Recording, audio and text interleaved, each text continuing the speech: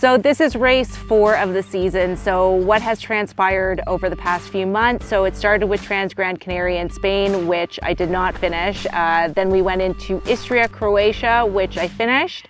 I did not participate in MIUT, and now we are here, Katoomba, Australia.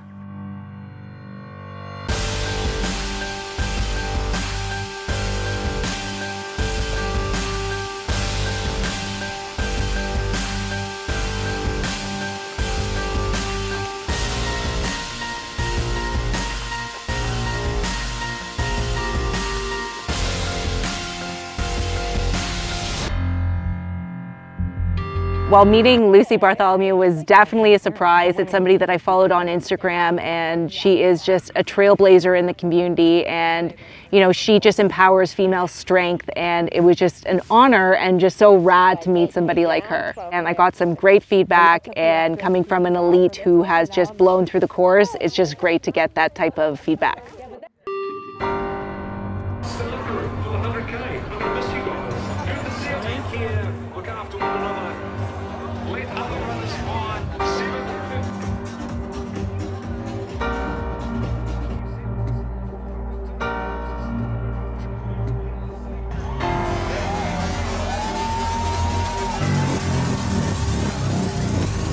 So since the beginning of the race, I started vomiting. Um, I took one gel in after about 15K and then everything started coming out, food, water, and it didn't stop for 14, 15 hours straight.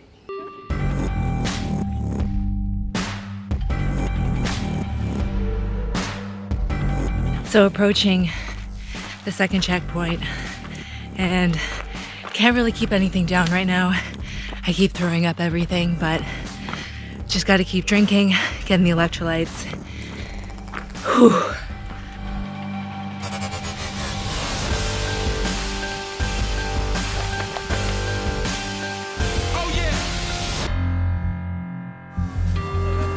I finally took like an hour rest, tried to get some food in me for about an hour, and then I packed up and I kept going. And then probably a couple hundred meters after that, I just put up the white flag. I knew I was done because I was having issues getting up the stairs and my chest was very tight. And at that point, it's like you're playing Russian roulette with your life. And, you know, I want to live to run another day. And at that point, it's not worth it. You have to learn and you have to know when enough is enough.